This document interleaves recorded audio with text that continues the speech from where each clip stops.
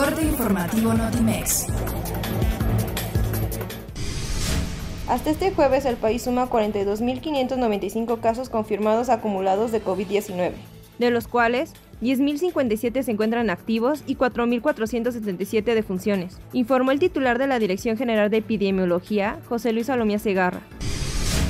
La Unidad de Inteligencia Financiera de la Secretaría de Hacienda investiga a los 49 administradores aduanales del país, de los cuales tres ya fueron removidos de su cargo, reveló Santiago Nieto Castillo, titular de esa instancia. La Junta de Gobierno del Banco de México anunció este jueves que decidió disminuir en medio punto porcentual su tasa de interés de referencia, para dejarla en 5.5%, al considerar que pudieran profundizarse en el segundo trimestre del año las afectaciones sobre la economía y el empleo por el paro productivo para frenar los contagios del coronavirus.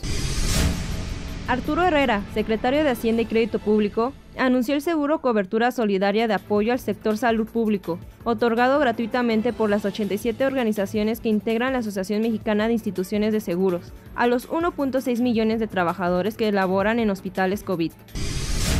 Roberto Acevedo renunció a la Dirección General de la Organización Mundial de Comercio, con vigencia el próximo 31 de agosto, anticipándose 15 meses a la conclusión formal de su encargo, fijada para ese mismo día pero de 2021. La importante farmacéutica japonesa Takeda informó que en julio comenzará a realizar las pruebas clínicas de un posible tratamiento para los pacientes con el nuevo coronavirus COVID-19.